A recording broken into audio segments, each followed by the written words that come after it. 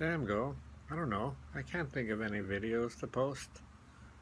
You know, sometimes it just gets so late and it's like, do I really want to put up a video today? You know what I mean?